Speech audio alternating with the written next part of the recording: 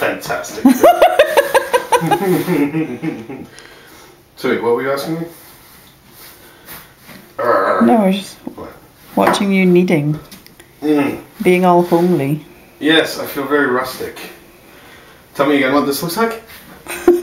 what, what what shape am I meant to be making right now? Sheep skull. Yeah, thank you. Yeah, just for the record, this was the reference that I was given when instructed. Oh, you know, like a sheep skull. You know With that. horns. How long did we do this? Ten minutes. I'm like out of breath. That's pathetic. We do have a machine for this, right?